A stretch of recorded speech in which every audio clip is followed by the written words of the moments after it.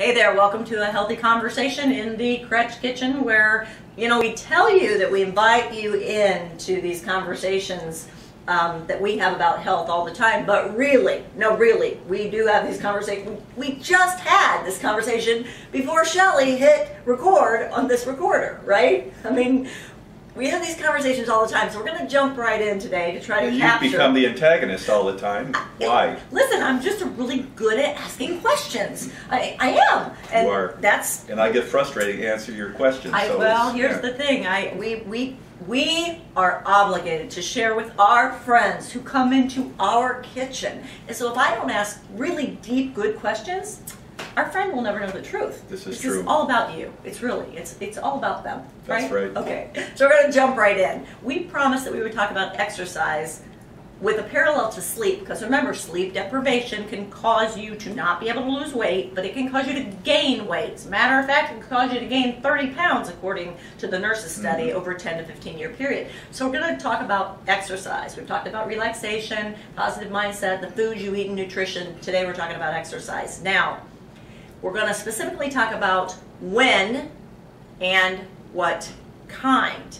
Now, when is pretty important, and you win this one. I know you're going to gloat over As, that. u- I'm as gonna, usual. I'm going to hear about that one forever.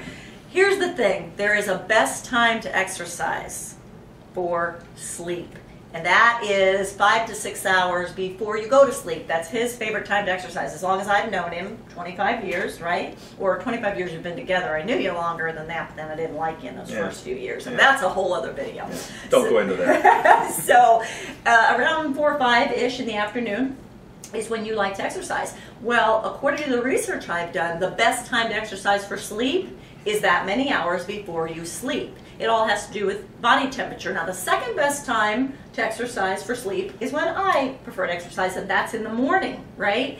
And one of the reasons for that is because when you expose yourself to daylight, tied in with exercise, it helps um, that that uh, temperature, that body temperature, go up. Because here's the thing: when you exercise, your body temperature goes up, and automatically, and by God's design, when you, when it's time to go to sleep at night, your body temperature starts dropping, and then as you really go into deep sleep, your body temperature is at its lowest. So exercise will take it up. That's why exercising in the afternoon is good because you raise that body temperature, and there are enough, just enough hours there for it to start lowering so then you can go into good healthy sleep now exercising right before you go to sleep that's the Bad worst idea, plan yeah. worst plan because the body temperature is raising and now your body is just going at high speed. Now you were tying this is what we were talking about before shelly hit record. You were saying oh well it has to do with thyroid. So let's talk about that.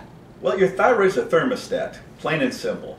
And I think there are so many people now, especially a lot of women, that have hypothyroids, which means they're not running very well, they're not working very well. And I think a lot of it can be because they're just not exercising the thyroid. I mean, if you if you if your temperature stays the same all the time, that thyroid gets sluggish. So just so you guys know, what I was saying to him before we hit record is he's like, well, Why? that has to do with thyroid, and I was like, well, wait a minute, you've got to tie in. It's that you know, exercise and thyroid and body temperature and sleep, and well, what is the thyroid? You want to you want to show our friends what you? I just it's just like your little I go, temperature. I go, what is yeah. that? It's a little temperature gauge there. Okay, so when you exercise, it triggers the body's thermostat, Thermostat. right, which is your thyroid. And if you don't use it, you're going to lose it. Here's the thing, too. You're talking about hypothyroid, which is very common. Hyperthyroid is something people don't talk about often, which is a predecessor to hypo. And and really, I, again, I know we talk about this all the time. We're under more stress than we've ever been in our lives, and you know that triggers all the stuff we'll talk about next week, like cortisol. But you you got to get out there and move because that will adjust that body's thermostat and everything works better. The key to remember is you the best time to move is 5 to 6 hours before you normally go to sleep. Second best time to exercise is in the morning. And again, that helps stabilize your mood, clear your head. There are all kinds of good reasons to exercise in the morning besides body's thermostat. But the worst time to exercise is at night before you go to sleep. Last thing we want to point out is the kind of exercise. We know that people love yoga. Yoga is awesome. We know that people uh, love resistance. You need resistance to build the muscle mass.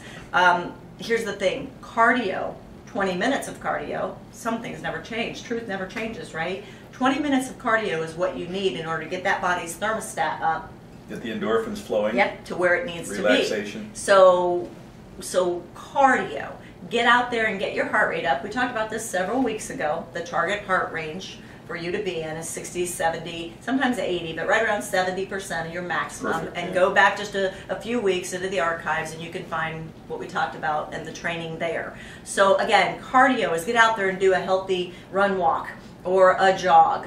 Um, uh, circuit training, uh, impulse training or burst training is really big. Just start Right off by moving. Just start moving. And That's move a little bit more tomorrow. every time. and a little bit more the day after that, and a little bit more the day after that. Yeah, this stuff really is simple. So if you want to uh, prevent the weight gain that comes from not sleeping, relax, positive mental attitude, the right nutrition and food, and exercise. That about covers it. That all covers it. I'm telling you, I sometimes I think, gosh, this stuff is fascinating. We might be really smart people. I don't know, maybe not, or maybe we just think we are, or maybe just he is, and then I have to admit it to him. I don't know. I do have to ask questions every now and then, though, to you know keep you on your game. So. All right, we'll talk to you next week. We're going to talk about meditation and lowering cortisol and delta waves and theta waves and really some of the key stuff to you getting good sleep at night. Talk to you next week.